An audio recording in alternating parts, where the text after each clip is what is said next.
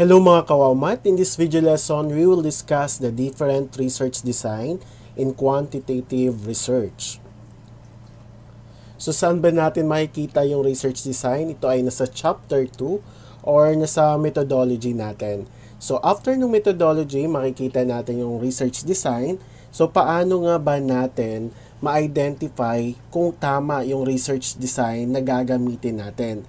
Or paano natin malalaman kung ano yung research design ng research na ginagawa natin.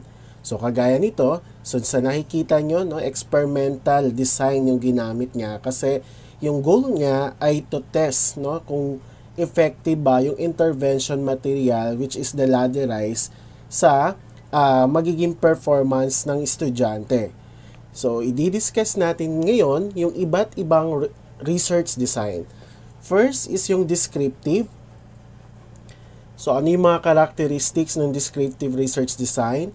It used to gather data from relatively large number of cases and it defines the existing condition or phenomenon of a classified variable. So, sa descriptive research design kasi, so nakatuon lamang ito para i-identify natin kung ano yung trends, correlation ng uh, iba't ibang variables and categories. So tatandaan rin natin na kapag yung descriptive research design yung ginamit natin, ito lamang ay ito ay mga na itong design na to ay nagre-response or nakatuon para sagutin yung mga tanong like what, how, when, and where.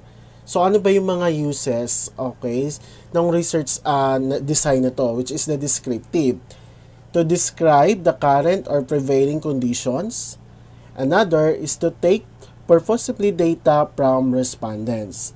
So ano yung mga examples ng descriptive research design? So ito yung mga example topics or uh, na pwedeng pag-aralan sa descriptive research design. A description of how parents feel about the K-12 curriculum.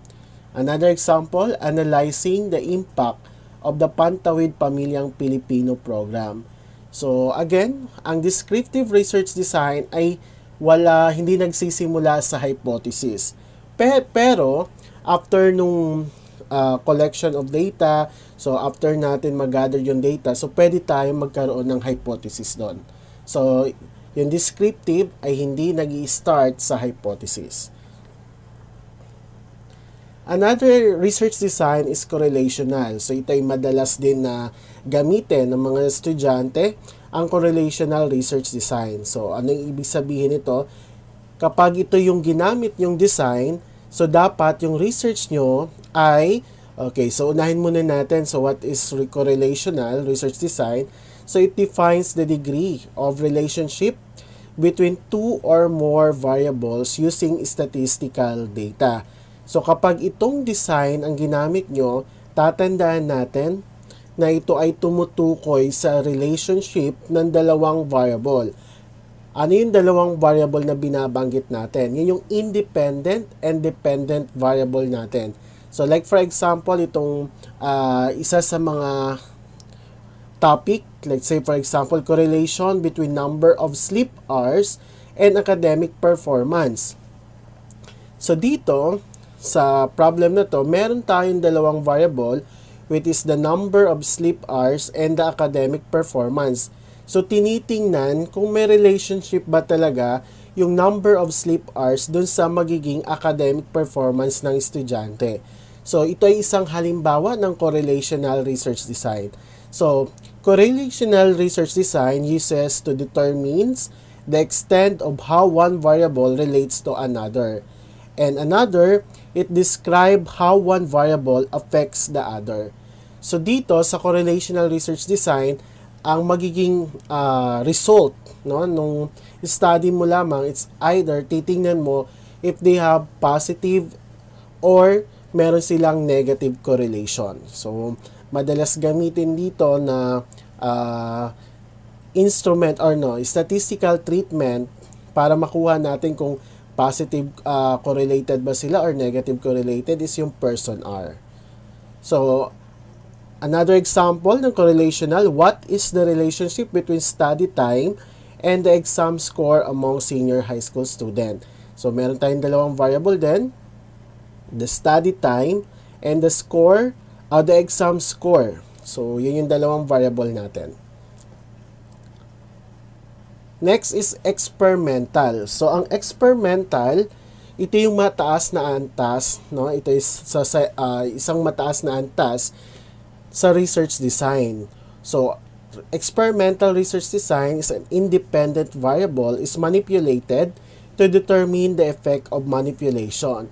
Like for example, no, sa generation ngayon, titingnan mo kung gusto mo uh, gusto mo ngayon malaman kung may epekto ba talaga yung K-pop, okay? Like for example, yung mga uh, iniidolo no ng mga kabataan ngayon, yung K-drama sa behavior ng mga kabataan ngayon. So para malaman mo kung may epekto ba talaga ito sa behavior, so ang gagamitin mong research is experimental. Okay? So experimental kasi titingnan mo kung may epekto.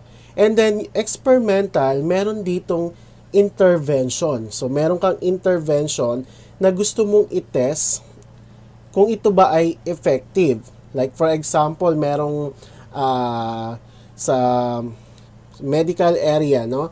Let's say yung vaccine, titingnan mo kung itong na-develop na vaccine ay effective or hindi. So, that is experimental. So, yung experimental research design yung respondents mo dito, ay, yung tinitest mo dito ay hindi lang yung uh, bagay or what, o yung maging respondents mo ay hindi lang ba, tao palagi. So, pwedeng uh, ang respondents mo dito, pwedeng animals or pwedeng plants. And then, kasi yung experimental research design, hindi lang siya survey, hindi lang siya na uh, ginagawa through questionnaires. So, ginagawa rin yung experimental research design through uh, laboratory at sa field. And of course, in experimental research design, the subjects are randomly assigned to experimental treatment. So, take note yung word na randomly assigned. So, kagaya ng example natin, independent video learning tool, its effect on academic performance. So, tinitest or tinitingnan kung meron ba talagang epekto, okay, yung independent video learning tool or yung uh, mga vi- educational video lesson sa performance ng estudyante. So another research design is the causal comparative.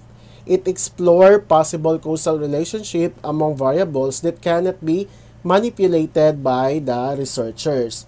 So kailangan dito sa uh, design na to meron kang at least two groups na kung saan titingnan mo ngayon yung relationship nung uh, not, uh, since you are comparing the two groups or two or more groups, titingnan mo, so at least may dalawa kang grupo dito. And the researcher attempts to determine the cause or the reason for pre-existing difference in groups of individuals. Kasi nga, uh, one of the characteristics ng causal comparative It investigates whether there are differences between two or more groups on the phenomena. So like for example, the effect of peer counseling and support group on a student's emotional condition. So another example, do attitudes toward math differ by gender? So ito isa rin to sa mga laging questions, no? Uh, talaga bang ang lalaki ay magaling sa math or uh, yung babae din ay magaling sa math. So, isa rin yan sa mga magandang topic. So, yun yung apat na madalas gamitin no, mulang mga senior high school students sa PR2 nila or sa quantitative research nila. So, meron tayong descriptive, correlational, experimental, and then causal comparative. Okay, to summarize the quantitative research design, first is the descriptive, which is uh, the main focus is to describe characteristics. Correlation, studying relationship between two variables. Experimental, manipulating condition, and studying effects.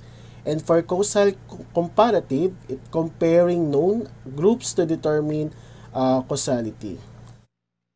Thank you for watching this video. I hope you learned something. Don't forget to like, subscribe, and hit the bell button para updated kayo for more video tutorial. This is your guide in learning your math lesson, your Wow Math channel.